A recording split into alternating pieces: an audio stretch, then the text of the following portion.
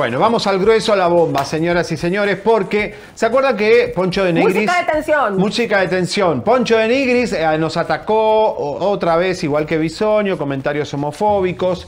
Le descubrimos el viernes que había estado con un eh, travesti que fue eh, lamentablemente, yo no quise hablar el día viernes porque era un día de premiación y de alegría, pero lo que pasó con este muchacho, o sea, con, con esta situación de Poncho, con este travesti. Ten cuidado con las palabras. No, y fue horrible cómo lo encontraron. O sea, de hecho la cabeza nos encontró. O sea, te estoy hablando de cosas muy feas. ¿Qué pasó ahora? Poncho le estamos descubriendo más cosas que tienen que ver él con sus eh, con la comunidad gay. ¿Se acuerdan del doctor Ángel del Villar?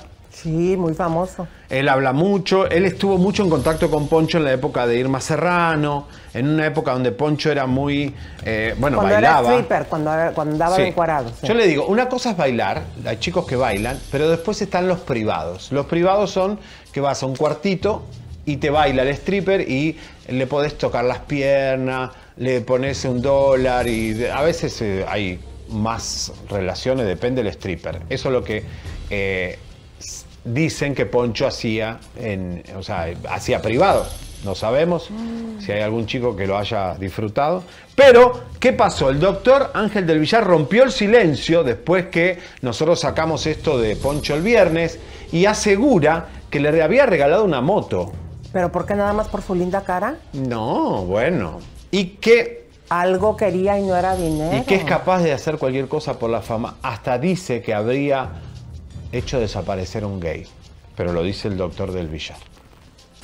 Otra gente malagradecida. Yo en ese entonces, precisamente hablando de, regalos y de, de, obsequios que yo daba a las gentes del espectáculo, yo les daba a la gente que yo pensaba, como Kipi Casado, que había dado tanto, que había eh, esos programas de, concursos y todo eso, le ayudé. También ayudé a Yatana, que también... Y a Poncho, pues éramos muy amigos y pues yo este, le regalé una moto, cosa que lo negó y empezaron a hablar la gente de que por qué, que un hombre, que otro hombre, ya sabes, éramos muy amigos. Entonces, este, él lo negó, lo negó en, un programa, siendo que fue evidente que todos los medios vieron cuando yo se la di. Y, este, y nos enojamos. Entonces, él es muy impulsivo. Una vez me citó, yo creo que para agredirme o no sé qué. Y hay una cosa muy delicada. Él, en una revista, la de los chismes de siempre, sacaron una nota en la que él había tenido relaciones con un transexual. Ese transexual eh, filtró esa nota y después lo desaparecieron, lo mató. Entonces yo este, no puedo, es muy delicado decir que él fue, pero tiene impulsos muy, muy, este, muy fuertes, Poncho. Tiene impulsos así como, como que no piensa, le falta cerebro. ¿Qué tiene que decir que le dio COVID y a la esposa también? Hay mucha gente, hay millones de gentes, hay gente que, y que les da COVID y ya. ¿eh? Entonces él, por tal de figurar, como no tiene talento, eh, agarra otras armas, otros métodos para, para figurar. Mm, qué, fuerte, ¿eh? doctor del Villar, en verdad que lo de la foto, pues eso de que se la regaló, porque nadie regala nada por nada y lo dijo bien claro él con sus propias palabras. Esto, la verdad que muy delicado, muy, muy delicado. Y está girando un TikTok muy... Esta entrevista la hizo nuestro querido De La Rosa. Sí. Hay que darle su Está girando un TikTok, decía que eh, donde eh, Poncho le hace, le pega en la cabeza al niño. Eh, no lo podemos poner porque está el niño, pero mucha gente está indignada con eso también.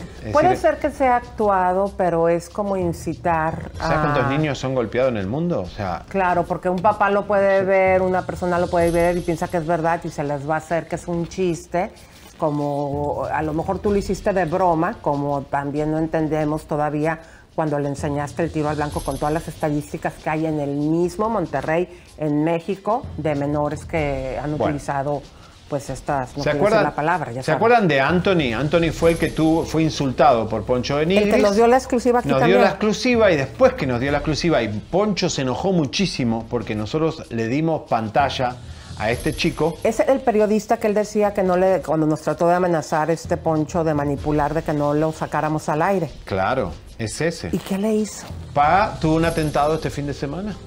Le vandalizaron, miren, ¿Qué dice Leito? Dice todo Dice, bien. todo bien. Solo se llevaron mi cartera con mi INE que acababa de recoger y billetes y monedas. Mis audífonos del iPhone y unas herramientas que usamos en el taller. Pero y a ver, están la- las imágenes del auto, mira. Bastaron 20 minutos para que pasara esto. En las redes, no, no lo estamos diciendo nosotros, en las redes están diciendo que esto es una represalia por haber hablado en este programa. Mucha casualidad, No, Tantos autos para vandalizar que le toque justo a Anthony, que hab- habló con nosotros el otro día. Son cosas que pasan y nadie dice nada. bueno, está Bueno, yo, yo quiero aprovechar para decir eh, que aquí en Estados Unidos hay un tipo de seguridad que tenemos eh, el güerito, porque mucha gente me ha dicho, oye, ¿no tienen miedo? Sí, sí tenemos miedo, pero también hacemos lo necesario. Eh, no puedo dar detalles porque esta Obvio. empresa no permite que des detalles, pero eh, lo que puedo decir es que son israelíes y que hay un tipo de cosas que a la gente que hacemos, eh, periodistas principalmente, eh, nosotros pagamos una cantidad muy alta.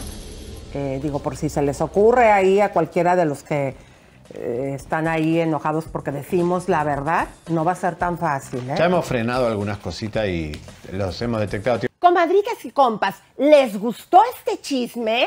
Esto es un chisme No se les olvide compartir a tu vecina, a tu amiguita, a tu amiguito, a tu comadre, a todo mundo. Y bien importante que se suscriban en nuestro nuevo canal de YouTube oficial.